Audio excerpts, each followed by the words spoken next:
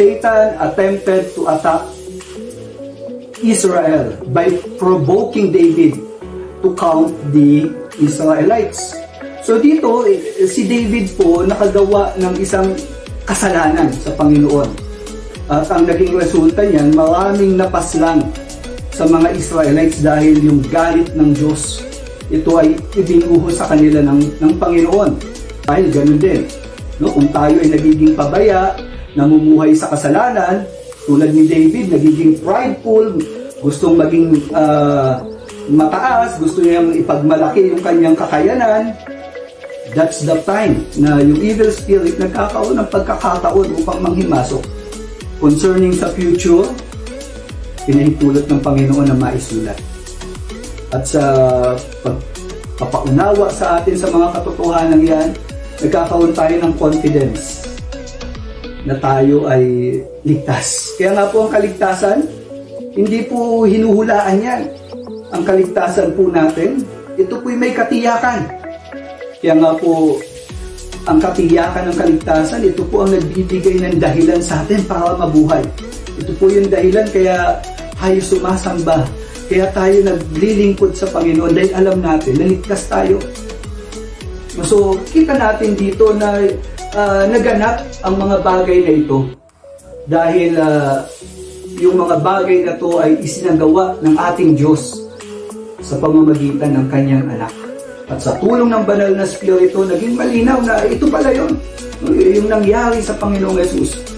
Ito pala yung bahagi ng uh, propesiya. Ito yung bahagi ng mga bagay na sinasabi ni Daniel na bahagi ng plano ng Diyos.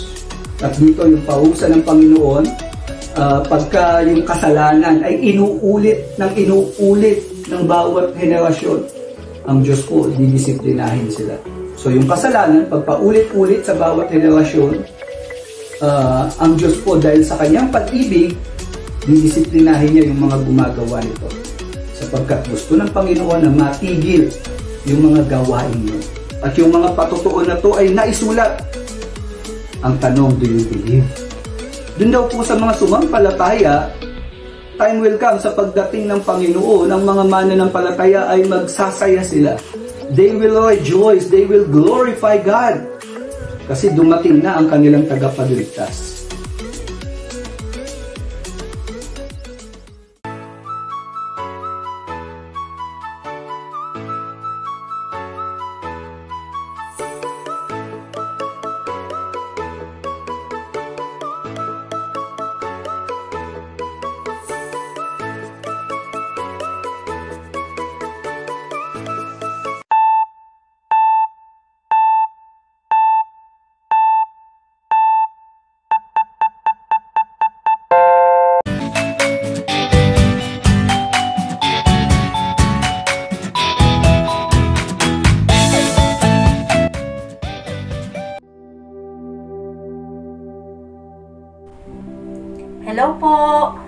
Kamusta po ang bawat isa? Ngayon po ay muli magpapasimula tayo sa ating gawain. At uh, to start with, tayo po ay sama-samang magbabasa ng salita ng Diyos. So, sabay-sabay po natin buksan ang ating mga Biblia sa Proverbs chapter 24 verses 11 to 22. Sige po. Sabi po dito, Rescue those who are being taken away to death. Hold back those who are stumbling to the slaughter. If you say, Behold, we did not know this, does not he who weighs the heart perceive it? Does not he who keeps watch over your soul know it? And will he not repay man according to his work? My son, eat honey, for it is good and the drippings of the honeycomb are sweet to your taste. Know that wisdom is such to your soul, and if you find it, there will be a future, and your hope will not be cut off. Lie not in wait as a wicked man against the dwelling of the righteous. Do no violence to his home. For the righteous falls seven times and rises again, but the wicked stumble in times of calamity. Do not rejoice when your enemy falls, and let not your heart be glad when he stumbles. lest the Lord see it and be displeased and turn away his anger from him. Fret not yourself because of evildoers, and be not envious of the wicked, for the evil man has no future. The lamp of the wicked will be put out. My son, fear the Lord and the king, and do not join with those who do otherwise. For disaster from them will arise suddenly, and who knows the, ru- the ruin that will come from them both? These also are sayings of the wise. Partiality in judging is not good. Last verse, verse 24. Whoever says to the wicked, You are in the right, will be cursed by peoples, abhorred by nations. Ang Diyos po ang mapagpala sa pagkabasa ng kanyang banal at buhay na salita. Tayo po ay manalangin. Panginoon, uh, nagpapasalamat po kami sa hapon pong ito na patuloy na kami ay magkakasama-sama upang minsan pa kami ay magpuri at magpasalamat sa iyo, O Lord. Dalangin po namin ang pagsama mo sa amin, sa aming panonood, sa, sa aming sama-samang panonood ng online worship sa hapon pong ito. At dalangin po namin, Panginoon, na patuloy na ipaunawa mo ang bawat salita mo na aming maririnig ngayong hapon na ito. At nawa, Panginoon, sa lahat po ng aming uh, gagawin ngayong uh, oras na ito, sa aming panonood, Panginoon, patuloy na ikaw po ang aming mabigyan ng pinakamataas na papuri at pasasalamat. Salamat po. Ito po ang aming panalangin sa pangalan ng Panginoong Yesus. Amen. Ngayon naman po ay sama-sama tayong magpuri sa Panginoon. Let's welcome the GCC Worship Team.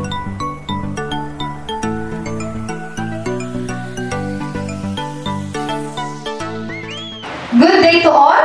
Muli tayo ay nagkatipon upang magpuri sa Panginoon. So, dapat handa na ang ating puso upang sumamba, umawit, at mag-alay ng ating mga papurit pasasalamat sa Panginoon. Basahin ko lamang po ang talata mula sa Psalms 111. Simulan ko po sa verse 1. Praise the Lord! I will give thanks to the Lord with my whole heart. In the company of the upright in the congregation. Great are the works of the Lord, studied by all who delight in them.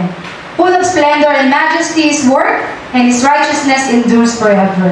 He has caused his wondrous works to be remembered. The Lord is gracious and merciful. He provides food for those who fear him. He remembers his covenant forever. He has shown his people the power of his works in giving them the inheritance of the nations. The work of his hands are faithful and just. All his precepts are trustworthy. They are established forever and ever to be performed with faithfulness and uprightness. Ang Diyos po ay patuloy nating purihin, sambahin, at ating bigyan ng pasasalamat sa araw na ito dahil ito ang araw na ginawa ng Diyos upang patuloy tayong sumamba at magpuri sa Kanya.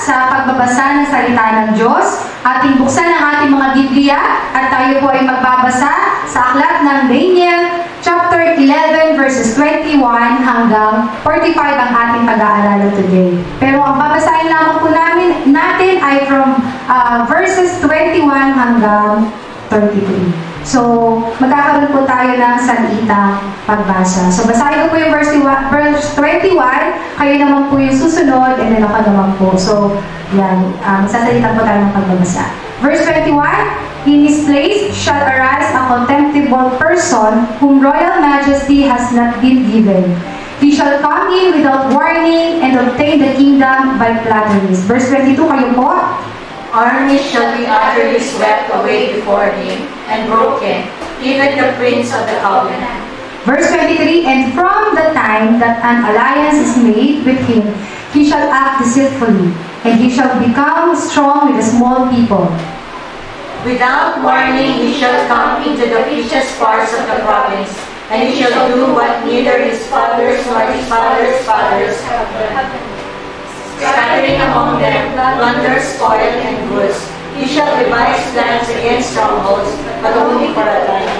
Verse 25, And he shall stir up his power in his heart against the king of the south with a great army. And the king of the south shall wage war with an exceedingly great and mighty army. But he shall not stand, for plots shall be devised against him. Verse 26, Even those who eat his food shall break him. His army shall be swept away, and many shall fall down to sleep. Verse 27, And as for the two kings, their hearts shall be bent on doing evil. They shall speak lies in the same table. But to no avail, for the end is yet to be at the time appointed. Verse 28, And he shall return to his land with great wealth, but his heart shall be set against the holy covenant, and he shall work his will and return to his own land. Verse 29, At the time appointed, he shall return and come into the south, but it shall not be this time as it was before. Verse 30, For the shades of Kittim shall come against him, and he shall be afraid and withdraw, and shall turn back and be enraged and take action against the holy covenant.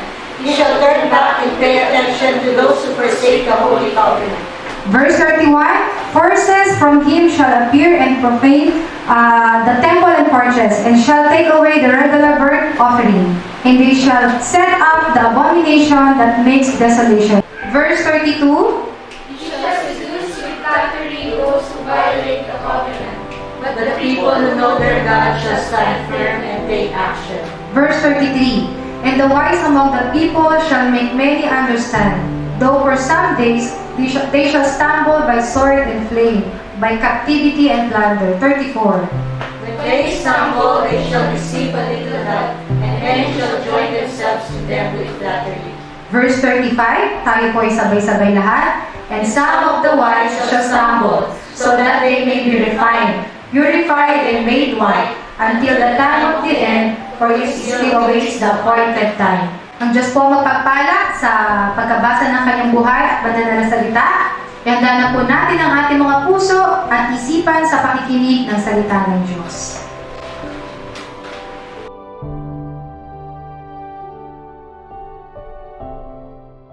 Isa pong mapagpalang araw para sa bawat isa na nagiging bahagi ng ah, panambahan. Alam ko po na sa mga pagkakataon na tayo ay ah, nagkakaroon ng uh, pag-aaral at pag-uusap patungkol sa ating Panginoong Yesus, siya ay uh, nakakaulayaw natin. At siya ay nararanasan natin. At siya ay mararanasan natin. Sa pagkakataon po ito, tayo po ay nagpapatuloy sa aklat ng Daniel. At uh, sa bahagi po ng ating pag-aaral ay pag-aaral, pag-uusapan po natin ngayon ang tungkol sa Antichrist. So, ang uh, bahagi pong ito ng uh, pag-aaral natin ay uh, tatalaka, tatalakay sa kabanata ng uh, labing isa. Uh, ito po ay magsisimula sa mga talata ng 21 hanggang 45. So as an overview ng ating pag-aaralan ngayon, uh, titingnan po natin yung takbo ng propesiya kung paano ito nagkaroon ng kaganapan sa kasaysayan. No? So dito po si Daniel kinakausap ng anghel at dinidetalye ng anghel yung magaganap sa future.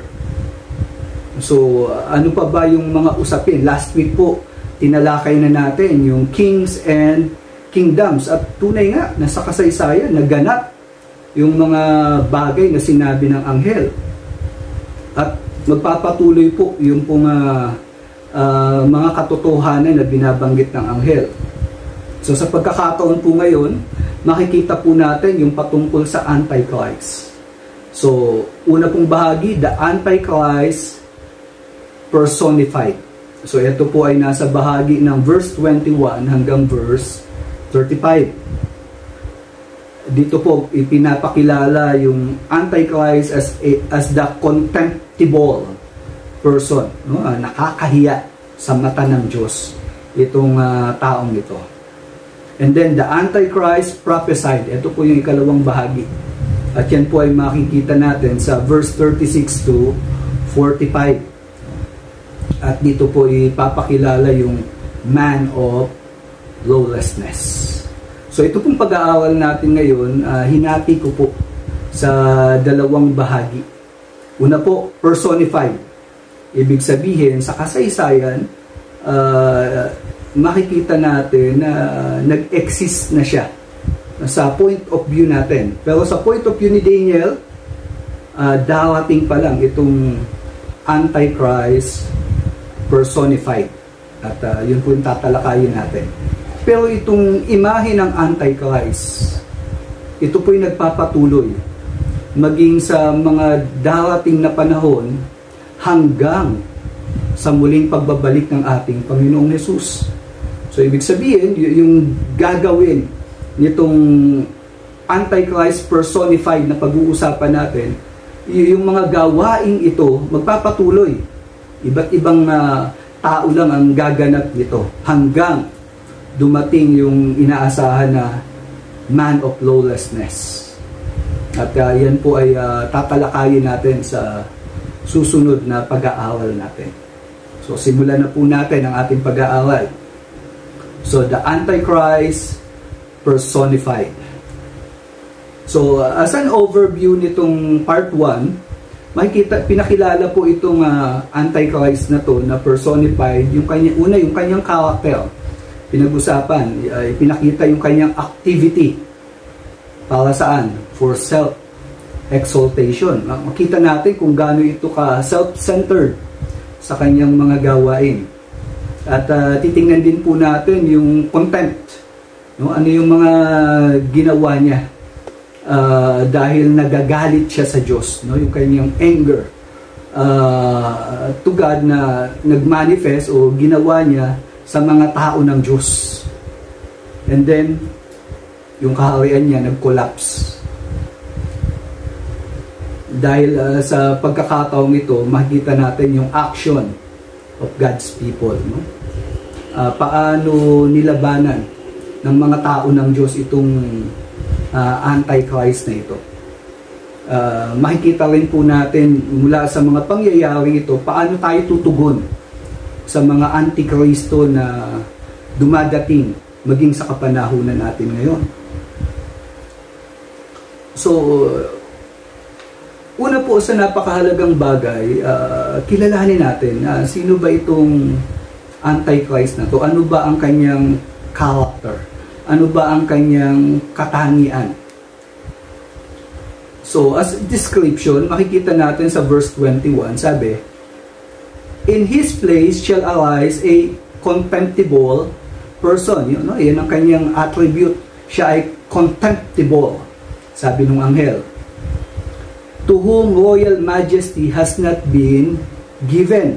So, wala siya sa uh, uh, sa wala siyang karapatan para iluklok as a royalty and yet uh, nagawa niya ng paraan na siya ay mailuklok. No, yan yung kanyang situation. And then ano bang ability niya? Sabi, he shall come come in without warning and obtain the kingdom by flatteries. So, makikita natin dito na ang instrumento niya upang siya'y maluklok, mahusay magsalita. No, uh, pananalita. Uh, yung talino niya, uh, na ipapahayag niya, marami siyang nakukumbinsi, yung, yung mga tao uh, humahanga sa pananalita niya, no? parang mga politician. Uh, at uh, ganun ang uh, taong ito. Pero sino ba siya? Mula po dito sa talata, uh, makikita, makikita natin na sa kasaysayan, siya po ay kinilala na si Antiochus IV Epiphanes. Uh, sino ba itong lalaking ito? Paano ba nangyari uh, yung sinabi ng anghel? So si Antiochus IV po, meron siyang kapatid na si Seleucus uh, the fourth, uh, Pilopator. Uh, yung tatay po niya, pinag-aralan natin noong nakaraan, ito po si Antiochus the third as, and the Great. No? Kasi ang dami niyang mga achievement eh.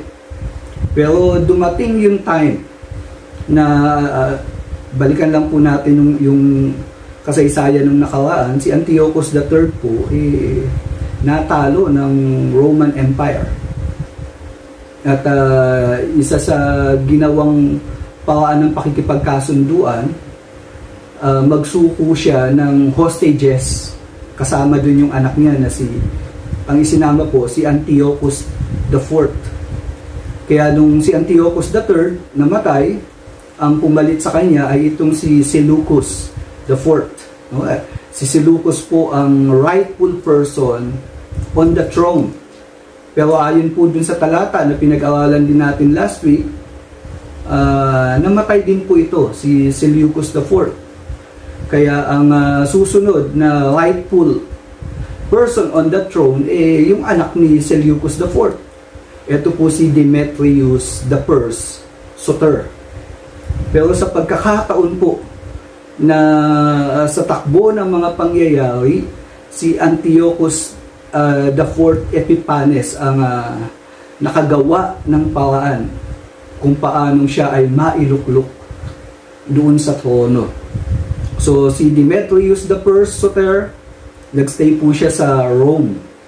At uh, ang namuno sa kaharian eh itong uh, uh, uncle niya na si Antiochus Fourth Epiphanes. At pag sinabi pong Epiphanes, uh, ito po ay uh, salita na ang ibig sabihin uh, siya ay uh, excellent, uh, glorious, mahusay. Uh, ganun po ang ibig sabihin sa Griego ng Epiphanes. So itong si Antiochus, mataas ang tingin sa sarili niya. To the point na talagang uh, yung mga tao ay uh, uh, mabababang uri at siya ang nakatataas sa kanilang lahat. No? Ganun ang takbo ng isip nitong taong ito. So ang rightful king is ay si Demetrius the First. At uh, si Antiochus the Fourth ay isang contemptible person. Kaya po siya tinawag na contemptible. No? Kasi hindi siya dapat doon eh. So yan po ang abilidad niya. No? Mahusay siya magsalita. At maraming naniniwala sa kanyang pagsasalita. Pero ano yung activity nitong taong ito? Uh, ba't tinawag siyang Antichrist? Sabi sa verse 22, armies shall be utterly swept away before him and broken. No, yung pinamumunuan niya, marami sa kanila, uh, papabayaan niya lang mapas lang. No, uh, parang matupad yung gusto niya, uh, yung buhay ng tao, napakadali na mapas lang para sa kanya. No, masunod lang yung yung gusto niya, yung plano niya, di ba? Na magbuwis ng buhay yung mga sundalo niya, yung mga tauhan niya. Uh, walang regard sa mga tauhan niya itong taong ito. And then ang pangalawa, even the prince of the covenant. Yung pong binanggit na prince of the covenant dito, uh, isa po itong tao na may mataas na posisyon before God at uh, marami pong nagsasabi na ito pong Prince of the Covenant na tinutukoy is none other than Jesus Christ.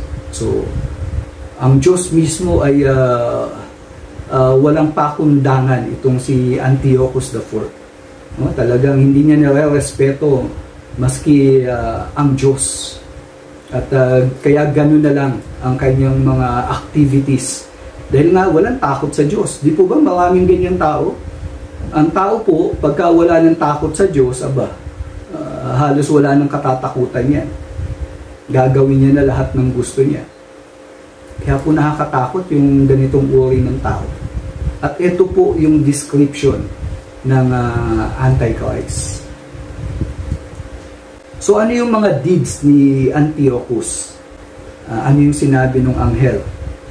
Una po yung alliance niya with uh, Ptolemy uh, the fourth kilometer.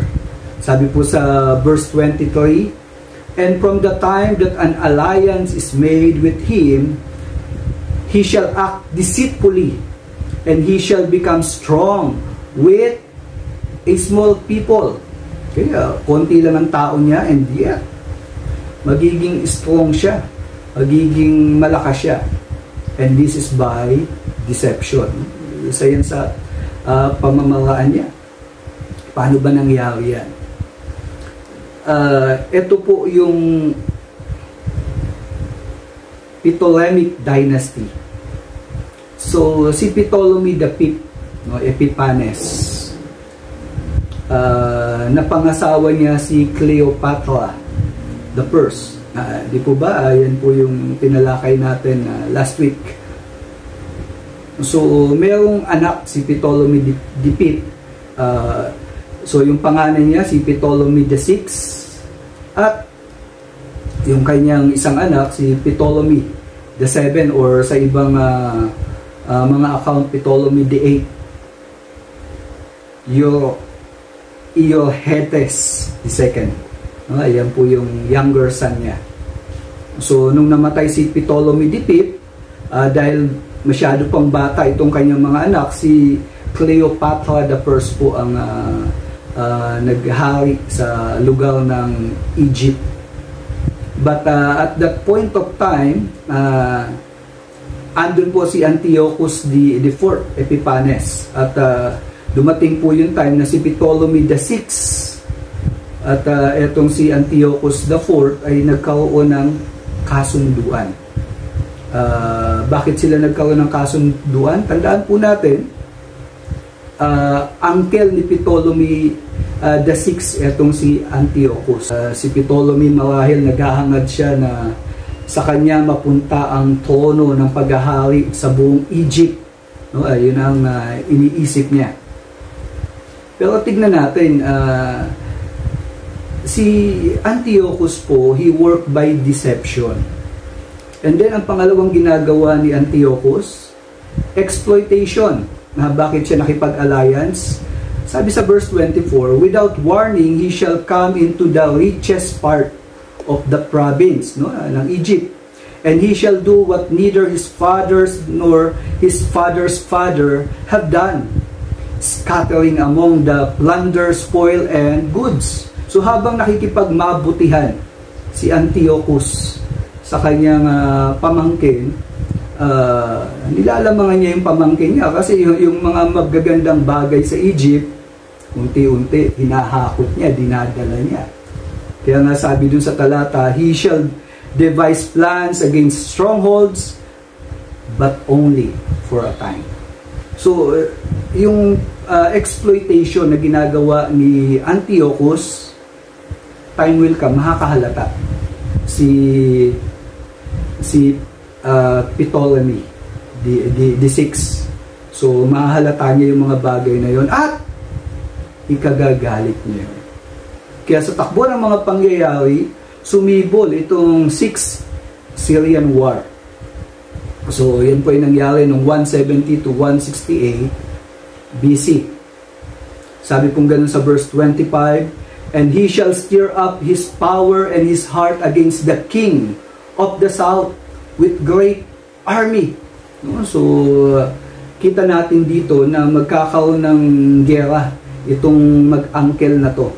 At uh, yung gera na yan ay uh, dahil nga uh, si Ptolemy VI na nagpapakita na ng hindi magandang uh, pag-uugali, trato sa kanyang uncle. Kaya uh, dahil sa pangyayari yun, uh, ikinaga, ikinagalit ito ni Antiochus. Kaya uh, naganap yung kanilang labanan. And then sa confrontation ng labanan, And the king of the south shall wage war with an exceedingly great and mighty army, but he shall not stand. So, sa puntong ito, makikita natin na uh, itong si Ptolemy, natalo siya. Uh, paano natalo? Kasi nagkaroon ng conspiracy.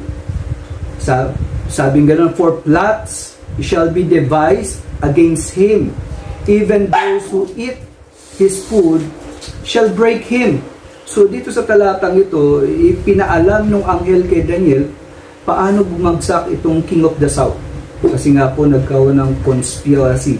Sinong involved? Uh, sabing ganon, those who eat his food.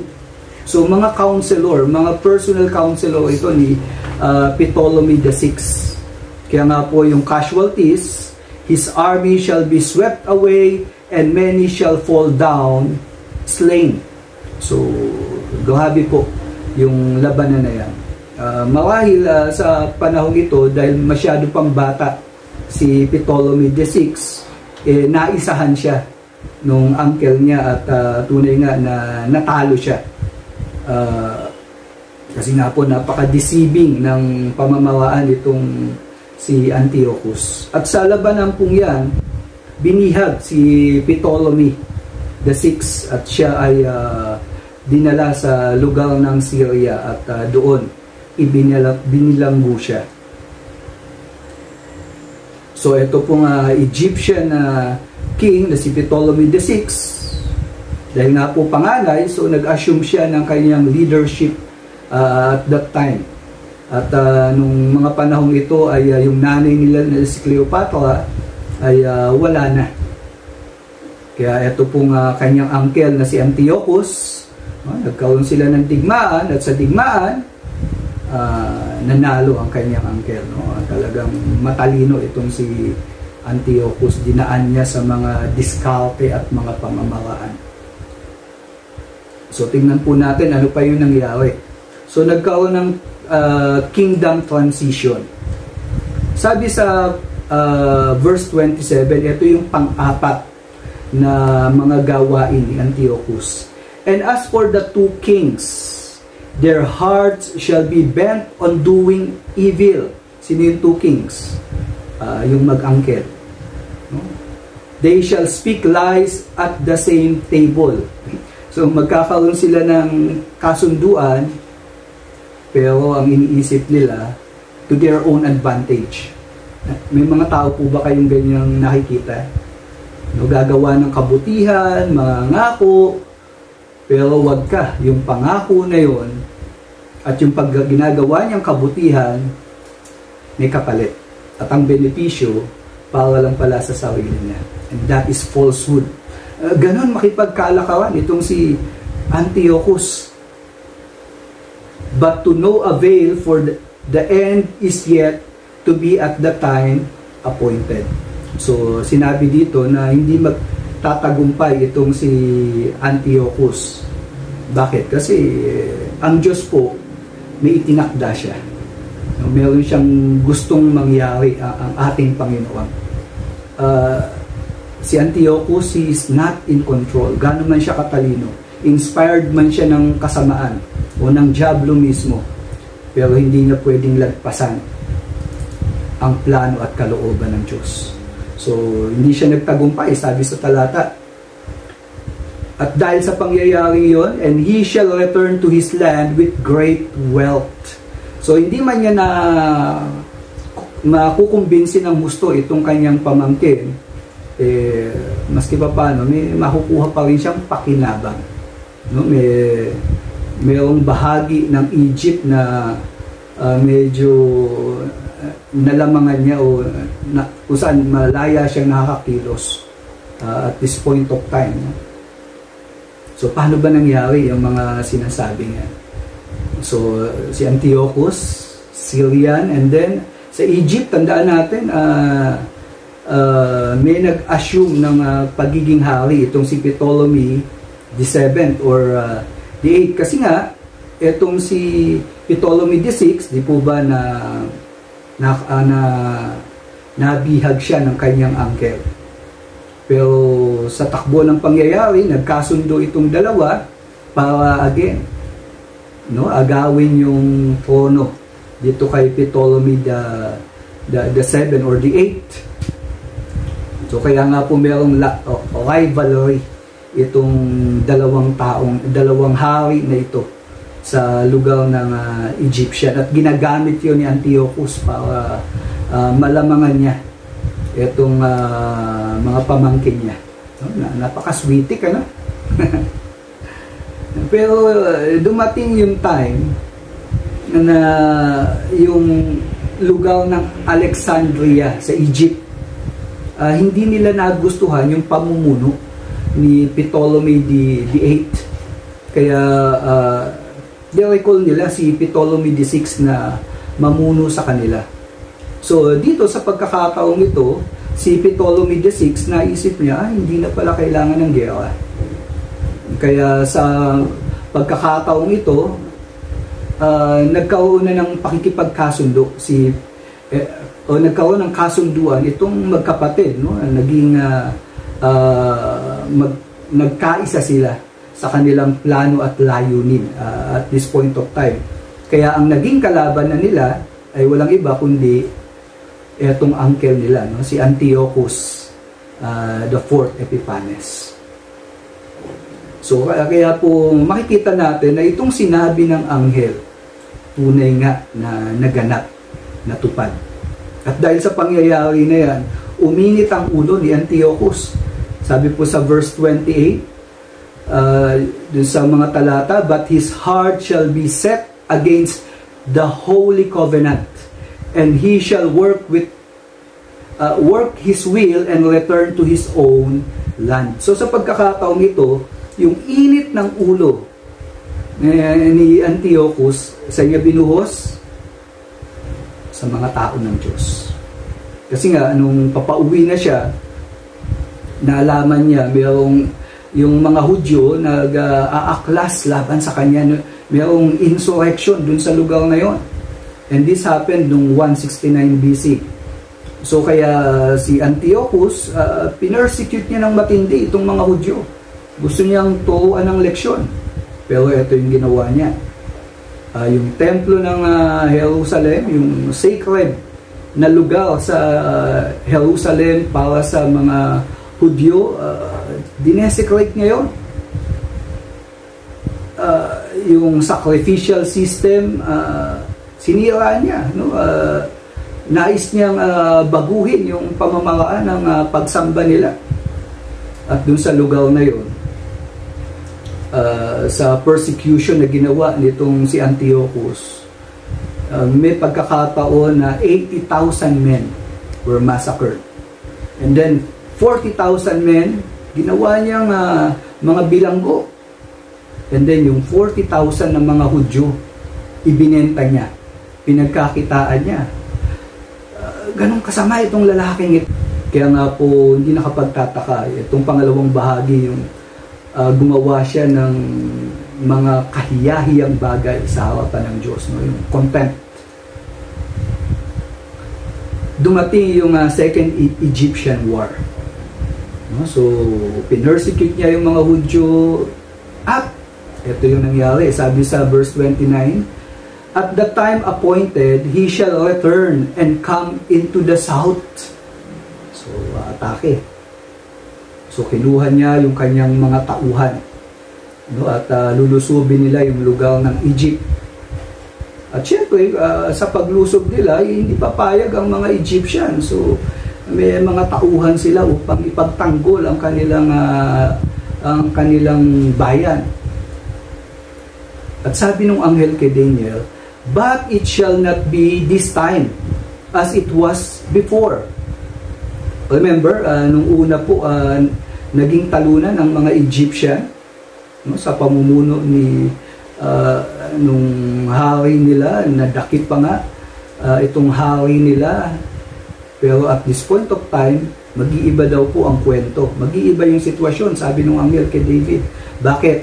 Sa history po, tumulong ang mga Romans. Nakialam ang mga Romans.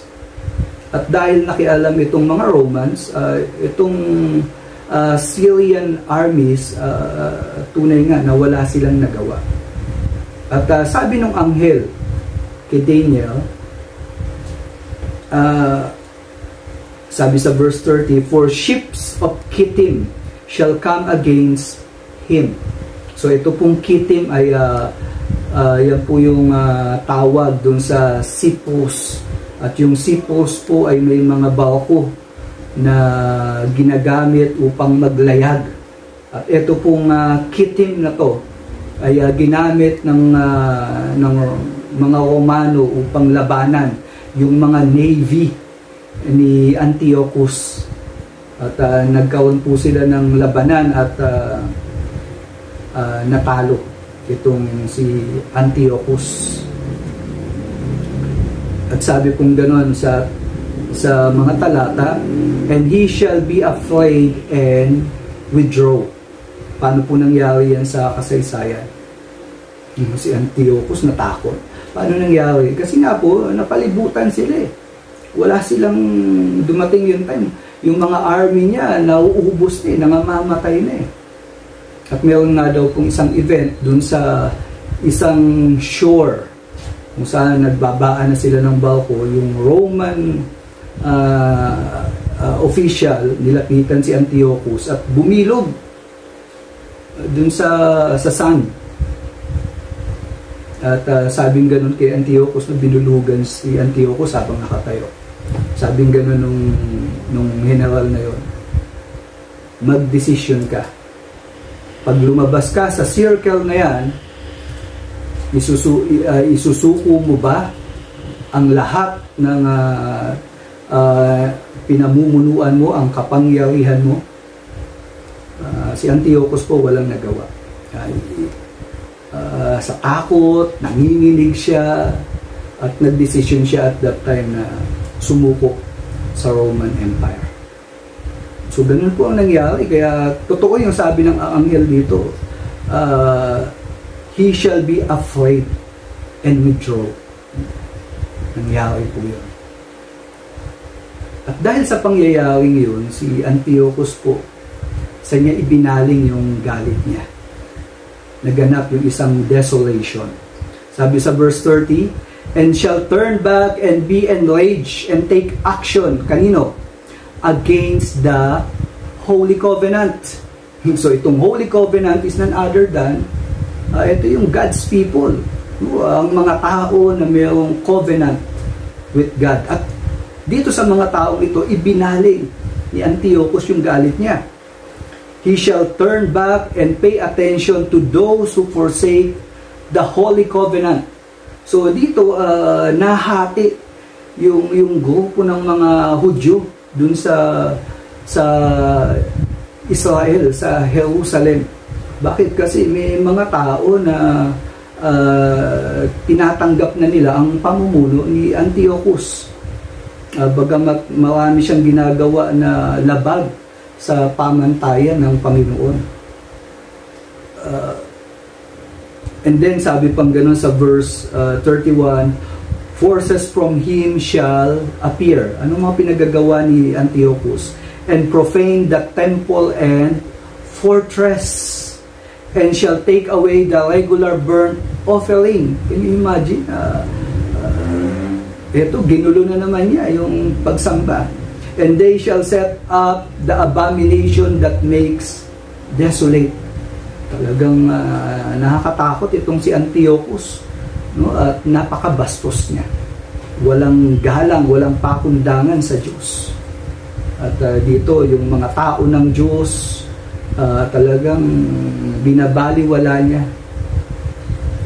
Paano po nangyari yan? Uh, ayon po sa history, no, itong si Antiochus na dun sa lugar kung saan nag-aalay ang mga Israelita ng tupa para sa kanilang kasalanan, uh, nag-aalay para sumamba sa Diyos, yung pinakamaduming hayop sa uh, pananaw ng mga Hudyo, yung baboy.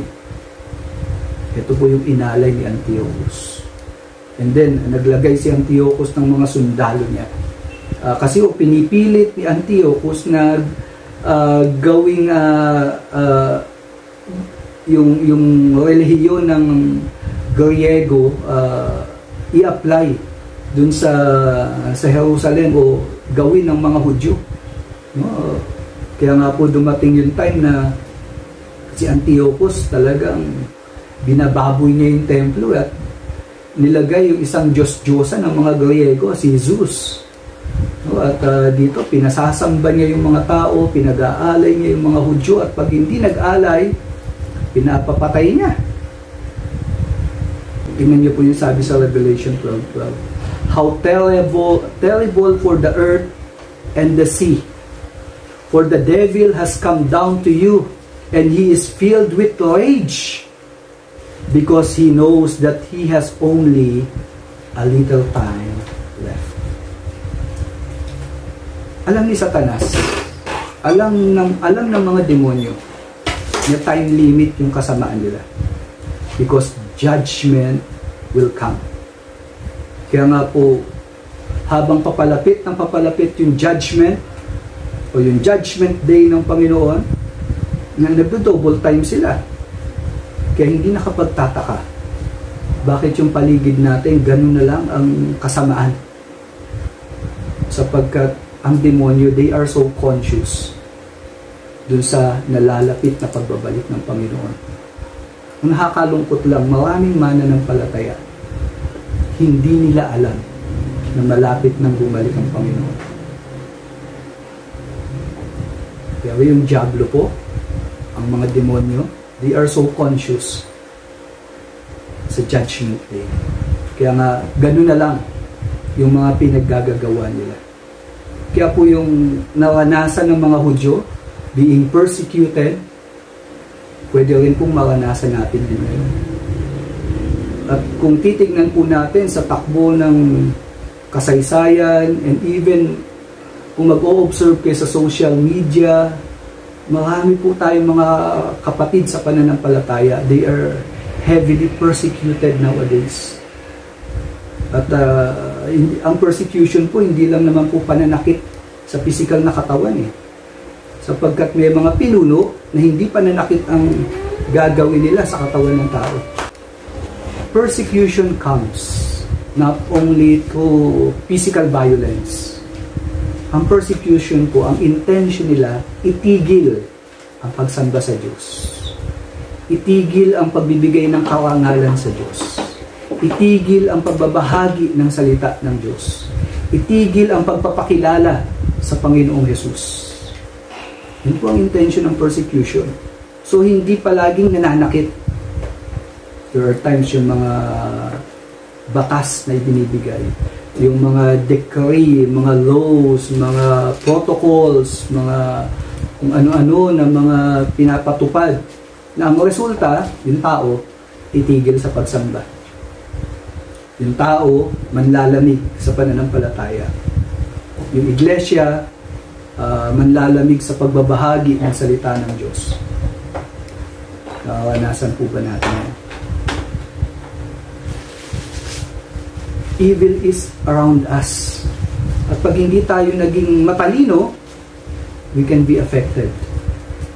Kaya nga po, uh, ito pong pangyayaring ito, nagdulot ng pag-collapse ng uh, ng pamunuan ni Antiochus. Bakit?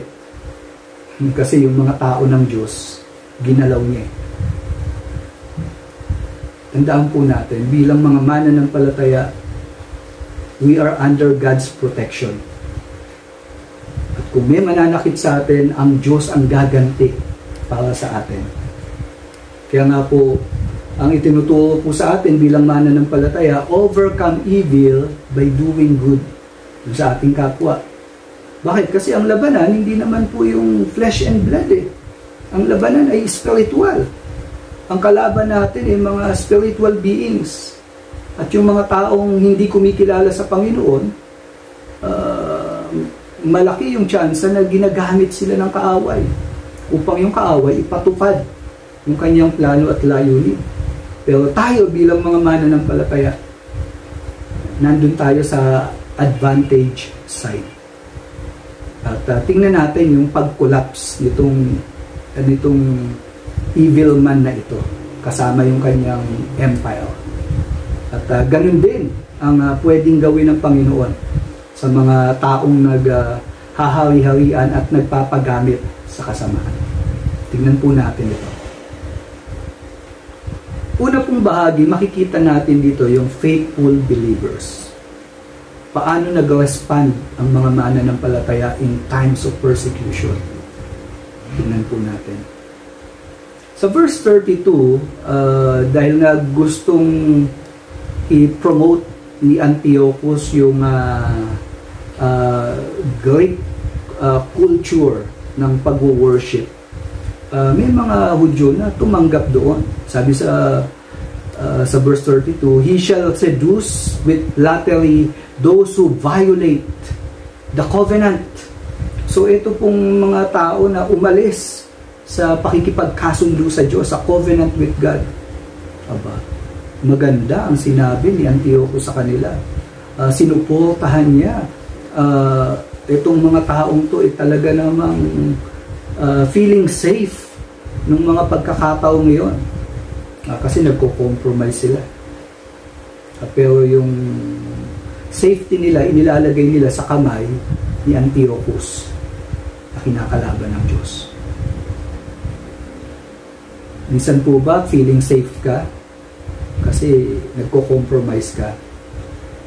Tingnan natin kung ano yung nangyari dito.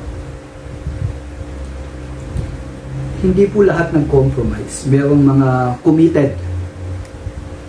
At uh, itong mga committed na to, tinawag sila sa kasaysayan na Hasidians. Sabi kong ganon, But the people who know their God shall stand firm and take action. And the wise among the people shall make many understand. So dito makikita natin ang pananampalataya ng mga Hudyo, hindi siya passive. Parang nag-o-observe lang. O Lord, bahala ka na. Hindi lang pray ng pray sa templo. Hindi lang uh, parang uh, whatever will be, will be. Eh, hindi po ganun ang pananampalataya ng Hudyo, kundi nanindigan sila sa tama, ginawa nila yung tama. Ganun din po dapat ang pananampalataya natin. Dapat humahakbang tayo upang gawin ang kalooban ng Diyos. At dito po, isa sa kalooban ng Diyos na ginawa nila, ipinabatid nila, ipinaalam nila ang salita ng Diyos, ang kautusan ng Diyos. Kaya nga po, marami ang mga Hudyo na talagang hindi umalis sa pananampalataya nila. At uh, naging handa sila upang ibigay ang kanilang buhay para sa Panginoon. And then, kita po natin yung consequence. Though for some days they shall stumble by sword and flame, by captivity and plunder. So, take yung mga nanindigan, ano nangyari? Napahamak sila, sinunog sila, pinatay sila. And this happened. Kaya nga pong pananampalataya na, na meron tayo, hindi ka dapat takot mamatay. Kasi kung tutuusin, anong ikatatakot mo sa kamatayan? Kung alam mo naman na yung buhay natin nasa kamay na ng Panginoon. Anong ikatatakot mo sa kamatayan kung yung pupuntahan mo sa kabilang buhay, eh buhay na wala kang sakit, wala wala ka nang poproblemahin, lahat ng kailangan mo nandun na. Wala kang electric bill na pinag-uu, pinag-iipunan, wala nang mananakit sa'yo. Kung yung pupuntahan mo, eh, yung lugar kung saan maayos na sa piling ng Panginoon, ano ikatatakot mo? Kaya nga po dito yung mga mananampalataya, malinaw sa kanila yun eh. Meron silang eternal perspective. Hindi sila nakatingin sa sa mga bagay lang na nandito sa mundo. Kundi ang tinitingnan nila, after this life in this world, ito mangyayari sa akin. Kaya they are willing to do this. And by history, ano nangyari sa kanila? Si Antiochus po nagdala, nagpadala ng mga batalyon ng mga tao niya. At may mga kasama pang elepante na talaga na kalalaki nitong elepante na to. Yung iba sa kanila, inapakan, sinagasaan, hinahagupit, uh, sinasaksak. Uh, pero sumuko ba sila? Marami po sa kanilang napaslang. Pero nanatili silang matapat para sa Panginoon. Sa Ephesians chapter 6 verse 10 to 11, tandaan po natin, walang kaibahan ang kalagayan ng mga mananampalataya noon sa kalagayan natin ngayon. Sa aklat ng Epeso, pinaalam sa atin na mayroong labanan. Meron tayong gera na kinakaharap. We are in a battle. Ang, ang Christianity po wala tayo sa palauan. Wala tayo sa uh, sa lugar kung saan uh, ikaw ay eh, magpo-post lang na ganyan, parang beauty pageant. Uh, wala tayo doon eh. Nasa labanan po. Ganyan po ang mindset ng mga Kristiyano. Kaya nga po sabi sa Ephesians 6, Finally, be strong in the Lord and in the strength of His might. Pansinin niyo po, magtatagumpay lang tayo sa labanan na to hindi sa pamamagitan ng lakas natin. Dito, binibili ni Apostol Pablo, kailangan natin yung kalakasan mula sa ating Panginoon. Kaya nga sabi niya gano'n, put on the whole armor of God that you may be able to stand against the schemes of the devil. So we, we must put on, alin? The armor of God. Take note tayo, yung armor, uh, damit uh, para dun sa labanan. Gera. Hindi po ito labanan ng sports. Hindi po ito labanan na parang katuwaan lang. Di. Meron talagang casualties.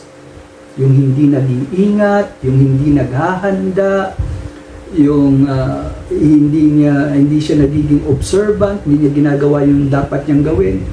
Sila po yung mga nagiging casualties rin nang walang kalaban-laban. Bakit? Kasi pabaya. Nagko-quiet time ka pa ba? Nananalangin ka pa ba? Nagbabasa ka pa ba ng Biblia? Yan po yung mga armas natin eh. Yung natututunan mo ba sa salita ng Diyos, ipinamumuhay mo. Yung pangako ba ng Diyos, pinanghahawakan mo. Lalo na pagka may mga pagsubok. Yan po yung mga armor natin eh. Gano'ng kadalas ka nananalangin? Nananalangin para sa mga kapatid natin sa pananampalataya. Kasama po yan sa armor of God. So, isa pong labanan. At sa labanan na ito, tandaan natin, we have the faithful God. Sabi pong ganun sa verse 34, When they stumble, they shall receive a little help. So makikita natin dito na sa takbo ng mga pangyayari ang sinasabi ng anghel kay Daniel, they will receive help. Uh, binanggit dito, little help kasi hindi naman sila ganun kadami. Pero at this point of time, yung mga Hudyo po, yung mga mana ng palataya, nagkakaisa na sila, nagtutulungan na sila, nagpaplano na sila, paano mapipigilan yung kasamaan ni Antiochus. Dapat ganyan po ang mananampalataya eh. Hindi yung sa simbahan, nag-aaway-away, nagkakanya-kanya, uh, minsan parang pagalingan pa, uh, magaling ako kumanta, mas magaling ako sa ganito sa'yo. Hindi po ganun eh. Dahil nasa labanan tayo, kailangan tayo magkaisa. So dito po, yung pagtutulungan. And many shall join themselves to them with flattery. Take note, uh, yung word ka na flattery dito, uh, they were encouraged para sumunod sa Panginoon. Uh, yung, mayroong silang mga word of comfort na natanggap. Uh, marahil natanggap nila yung uh, mga pangako ng Panginoon. Greater is, is He who is in us than He who is in this world. No, uh, maraming pangako ang Panginoon. Uh, Fear not, for I am with you. Do not be dismayed, for I am your God. Yung mga promises na yun mula sa salita ng Diyos. Uh, pinanghawakan nila. At dahil doon, tumapang sila upang ipaglaban ang nakikita nilang kalooban ng Panginoon. Ikaw ba? Ba't ka nabubuhay? Ba't mo ba ginagawa yung mga bagay-bagay? Para ba kanino? So, ganun po na-serve ng Diyos yung lahi nila. Sa verse 35, makikita natin yung perseverance ng manan, mga mananampalataya. And some of the wise shall stumble so that they may be refined, purified, and made white. So makikita natin dito na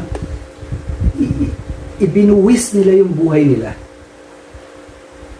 sa kadahilanan na gusto nilang matigil yung kasamaan gusto nilang maipagpatuloy yung pagsamba sa Diyos. Gusto nilang maituloy, magawa yung mga bagay na ninanais ng Panginoon para sa kanila. Kasi nga po habang nandun si Antiochus, hindi nila magawa yung kalooban ng Diyos. So they were purified, made white. At sabi po ng anghel, until the time of the end, for it is it still awaits the appointed time of the end, ano mangyayari? Tayo pong mga mana ng palataya, we will be victorious. Eh, hindi man natin maintindihan yung mga detalye ng mga pangyayaring ito. No, yung iba po, nahihirapan unawain itong Daniel 11. Pero isang bagay po na napakagandang wag nating kalilimutan. Sa dulo ng mga paglalabanan, sa dulo ng mga kapighatian, sa dulo ng kasamaan, ang mga mananampalataya magtatagumpay. Lahat ng ginagawa natin para sa Panginoon, hindi mababaliwala. Kaya nga po dito, yung pong mga Hudyo, dahil pinaglaban nila ang karapatan nila bilang sumasamba kay Yahweh na siyang totoong Diyos. Dumating po yung time sila'y nakalaya. Ito pong pagkalaya nila, ginawa po nila itong piyesta, no? Hanukkah. At ito po yung sinelebrate nila, una nilang sinelebrate noong December 14, 165 BC. At ito yung tinawag nila na Feast of the Lights. No, noong 164 BC, uh, nagtagumpay sila at uh, nagawa nila yung dapat nilang gawin para ma-restore yung templo, uh, yung templo ay uh, ito, ito yung lugar upang muli uh, makasamba sila kay Yahweh. Uh, nagawa po nila yon. Kaya nga po very memorable itong event na to. Ba't nagtagumpay itong mga mananampalataya? Lumaban sila. Kaya nga po ang paalala ko sa bawat isa sa aklat ng unang Korinto chapter 15 Thank God that He gives us the victory through our Lord Jesus Christ. No, ang tagumpay po talaga hindi sa atin eh. Dahil sa Panginoong Yesus. So then, brothers and sisters, don't let anyone move you off the foundation of your faith. Anong gagawin? Always excel in the work you do for the Lord. You know that the hard work you do for the Lord is not pointless. Walang nababaliwala sa ginagawa natin para sa Panginoon. Kaya nga po mga kapatid, patuloy po tayo sa pananampalataya. And as a summary, uh, talking about the Antichrist, pinag-usapan po natin yung kanyang character. Dito po nakita natin o nakilala natin the personified evil. Sa panahon po natin bilang mananampalataya, let us discern the evil one. Sinabi na ng Bible kung sino siya. Kung ano yung mga activities nila. No? Maraming mga antichrist na darating. At si uh, si Antiochus IV uh, siya po ay uh, larawan lamang ng isa sa mga antichrist. So discern the evil one. And then uh, they will do contempt before God because they will promote evil. Tayo po bilang mananampalataya, mananampalataya bilang mananampalataya, let us despise the evil one. Huwag natin siyang, huwag tayong matuwa, huwag tayong ma-entertain sa mga pamamaraan nila o sa mga gawain nila. Uh, pansin niyo po ba yun? Nagiging entertaining ang masasamang gawain ngayon.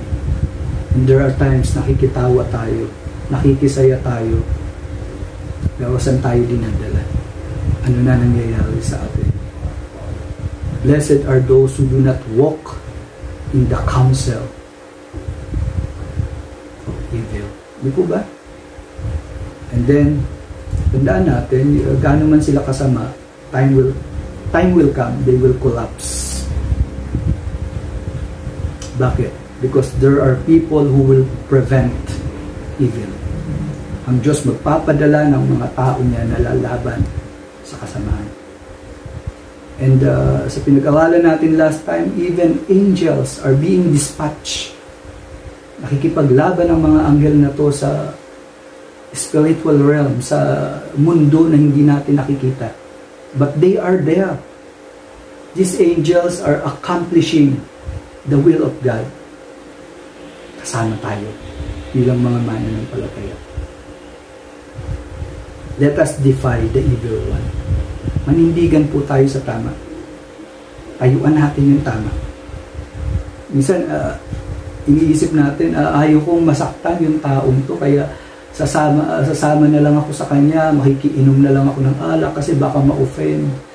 O pagbibigyan mo sila na, okay, sige, maglalaro na lang ako ng, ano, ng computer games na yan, ng, ayaw mo kasi maka-offend. Take note kung ayaw mo maka-offend sa isang tao na namumuhay na yung gawain niya, niya nga ay offending God at ayaw mo siya ma-offend, anong klaseng pananampalataya meron tayo? Uh, tandaan po natin, yung mga nagko-compromise, hindi naman niya nadadala sa Panginoon yung mga tao na uh, kasi hindi siya nakikisama lang, eh. nakikisama na eh. Hindi po tayo magiging mabuting patutuo doon. Marami pong nadala sa kaharian ng Diyos. Bakit? Kasi may mga tao na nanindigan sa katotohanan. Nakita ng mga tao sa paligid gaano gaano kaseryoso itong mananampalatayang ito sa pananampalataya pananampalataya niya. That's why sila po, na-attract sila kasi seryoso eh. Ikaw ba, gaano ka kaseryoso sa pananampalataya? Gaano ka kahanda? Kung dawating na itong matinding mga pagsubok. Paano mo pinaghahandaan yung pagdating ng mga taong lalaban sa Panginoon? At hindi po sila papawating, kundi nandito na nga yung mga nangyayari ngayon sa atin. Uh, walang physical harm na ginagawa sa atin. Pero mag-observe po tayo. Nangyayari na ba ang, pagdat ang uh, mga gawain ng Antikristo? Habang nag-iisip-isip po tayo sa mga bagay na meron pong awit na hinanda ang ating mga kapatid sa pagkakataon pong ito, lumapit po tayo, sumamba sa Kanya, sumunod po tayo sa mga awit niya. Sige po.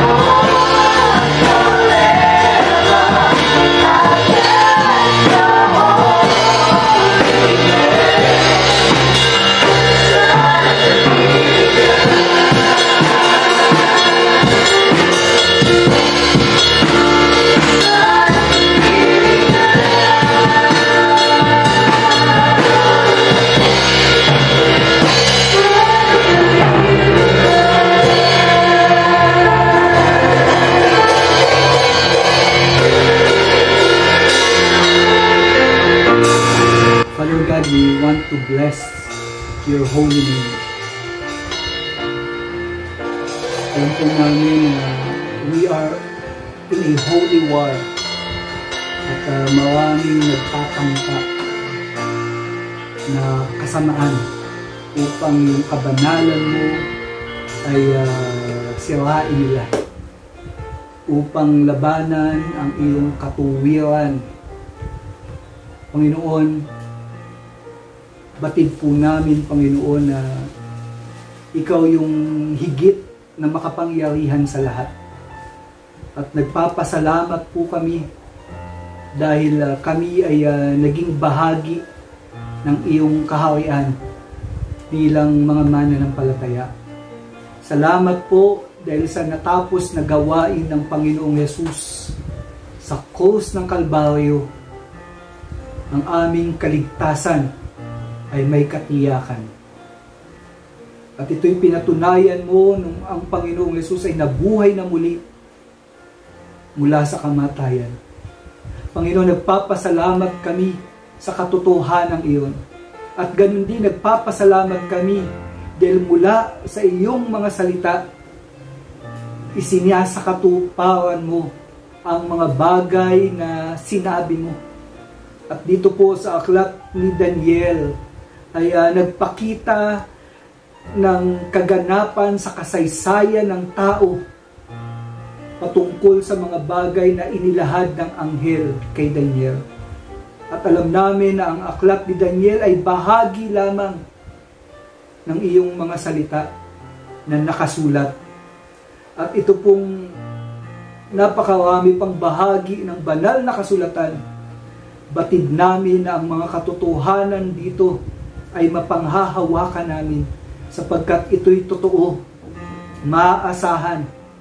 Panginoon, salamat sa iyong mga salita na nagbibigay ng liwanag sa landas naming dawaanan.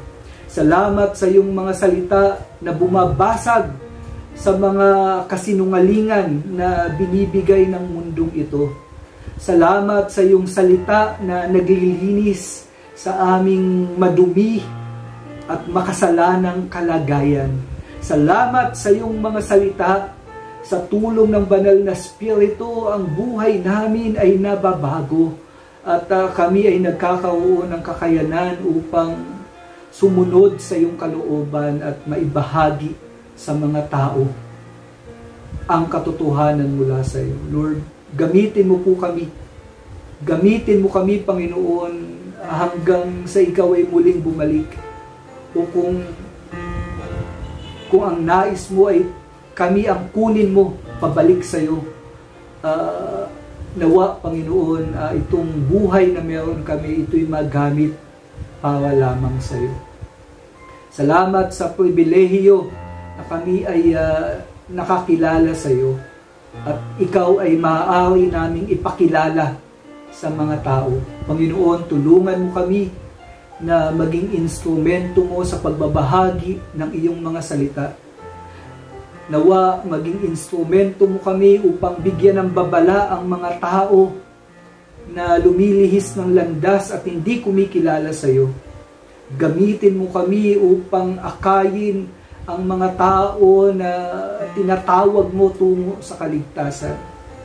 Panginoon, salamat sa pribilehiyong ito sapagkat batid namin na ang gawain at pag-eebanghelyo ito po ay uh, hindi nawawala ng kabuluhan. Tulungan mo kami na ihanda ang aming sarili upang makilala ka pa namin at nang sa ganoon ay uh, may pakilala ka namin sa marami ring mga tao na nasa paligid namin. Thank you so much, Lord, sa ministeryong ito at nawa patuloy na ang pangalan mo ay mabigyan ng kaluwalhatian, karangalan, sapagkat ikaw lamang ang narapat tumanggap ng papuri, pasalamat at ang buhay namin tama lang na gamitin upang ikaw ay sambahin at paglingkuran. Muli, Panginoon, nagpapasalamat kami sa iyo. Ito ang aming dalangin sa ngala ng Panginoong Yeso Kristo. Lahat po tayo magsabi ng Amen. Bago po tayo magwahiwalay, ituon po natin ang ating mga puso sa Panginoon at nais ko pong igawad ang biyaya mula sa Kanya.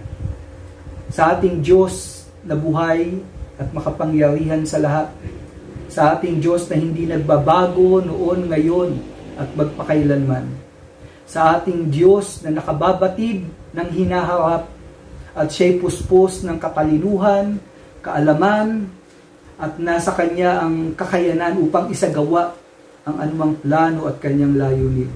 Mula sa Kanya, nawa ang bawat isa na naging bahagi ng panambahang ito, tanggapin niyo ang pagpapala at biyaya ng Panginoon. May the Lord bless you and keep you, and may the peace of the Lord be upon you, and may His gracious hand be upon you, and may His face shine upon you. In the name of the Father, of the Son, and of the Holy Spirit, everybody says and agree. Amen. A blessed Lord's Day to each and every one of you.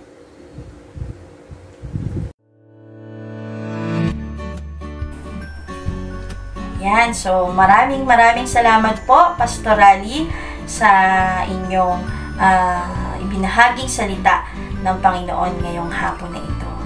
At ngayon naman po ay darako tayo sa isa pang bahagi ng ating pagsamba at ito po ay ang ating pagkakaloob. Bahagi ko lamang po ang 2 Corinthians chapter 8 verses 1 to 5. Verse 1, We want you to know, brothers, about the grace of God that has been given among the churches of Macedonia. For in a severe test of affliction, their abundance of joy and their extreme poverty have overflowed in a wealth of generosity on their part. For they gave according to their means, as I can testify, and beyond their means, of their own free will, begging us earnestly for the favor of taking part in the relief of the saints. Verse 5 And this not as we expected, but they gave themselves first to the Lord, and then by the will of God to us. So, napakaganda pong uh, encouragement nitong uh, mga binasa nating mga uh, talata ngayong hapon na ito sa atin. Lalo na po ngayong uh, panahon na ito ng pandemya, alam natin na talagang lahat tayo ay uh, naka-experience ng financial struggle. Pero makikita natin uh, yung good example na ipinakita ng Macedonian Church kung saan sila din uh, noong mga panahong iyon ay nakaranas ng matinding uh, kahirapan o matinding pagsubok pero sa kabila ng iyon ay nandun pa rin yung kanilang kagalakan sa kanilang pagbibigay. At sabi nga po, uh, yung mga taong yun ay sila ay common people. Pero sabi nga, uh, common people with a heart, a big heart for the Lord. So nawa, tayo din po bilang mga Kristiyano, bagamat tayo ay nakakaranas ng mga pagsubok, uh, lalong-lalo na po when it comes to our finances, nawa ay patuloy na, na maging uh, naroon sa ating mga puso ang kagalakan sa ating pagkakaloob sa ating Panginoon. Amen po? Amen. So, sige po, kung tayo po ay may mga nakahandang kaloob ngayong hapon na ito, atin po itong ipanalangin. Yes, so Lord, Father God, Panginoon, patuloy na kami ay nagpapasalamat, Lord God, sa oras po na ito na kami po ay magiging kabahagi ng pagkakaloob sa inyo. Alam po namin, Panginoon, na ang uh, pagkakaloob po ay isang biyaya na uh, nagmumula sa iyo, Lord God. Alam po namin, Panginoon, na ang lahat ng mayroon kami ay nanggaling sa iyo. Kaya nararapat lamang na kami ay patuloy na magbalik ng aming mga pasasalamat sa inyo, Lord. And tunay nga, Panginoon, alam namin sa panahong ito, ang bawat isa ay may nararanasang uh, pagsubok, uh, maaaring struggling kami when it comes to our finances. Pero nawa ay hindi ito maging hadlang upang kami ay hindi makapagbigay sa iyo, Lord. Nawa sa bawat oras na kami ay may matatanggap na biyaya mula sa iyo, ito ay uh, ikip na namin, Panginoon, at ihanda namin ito para kami ay ah, makapagbigay sa iyo, Lord. Tunay nga po, Panginoon, nawa ang puso ng bawat isa sa amin. Makita mo sa puso namin, Panginoon, na naroon yung kagalakan every time na kami ay magkakaloob sa iyo. Salamat po, Panginoon, and truly, Lord, ah, dalangin po namin sa lahat ng ah, malilikom na salipi ngayong hapon na ito. Patuloy nga po, Panginoon, na magamit ito, Lord God, sa pagpapalawak pa ng iyong kaharian dito sa lupa. Salamat po, Panginoon. Patuloy nawa po na ikaw ang ang manguna sa buhay ng bawat isa sa amin. At patuloy na, Panginoon, ah, ikaw po ang mag-bless pa, Panginoon, sa bawat isa sa amin. Salamat po, Panginoon, sa iyo po ang lahat ng papuri at pasasalamat sa pangalan ng Panginoong Yesus. Amen. Yan. So, sa mga nagtatanong po kung paano nila ah, maipahahatid yung kanilang ah, mga kaloob, so, you may contact yung inyong ah, mga DG heads. So, sa lahat po ng ah, members ng GCC, pwede nyo pong kontakin ang inyong mga DG heads or ang mga nasa finance. And, ah, ganun din po, ah, ito po ay ifina-flash din sa ating screen. So, nakalagay po doon in details kung paano po maipahahatid ang inyong ah, mga kaloob sa ating Panginoon.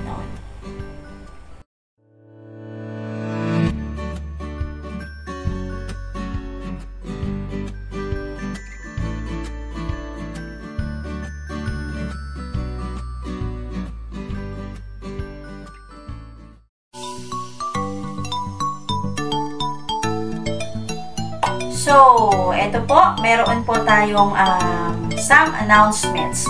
So, dahil po tayo ay ah, limited pa rin at hindi pa tayo pwedeng magkita-kita ng face-to-face. So, lahat po ng ating ah, gawain ngayon ay via virtual. So, we are inviting everyone na ah, mag-join at makibahagi sa ating ah, weekly gatherings. So, ito po ang ating mga announcements. Po tayo muli hanggang sa susunod na linggo.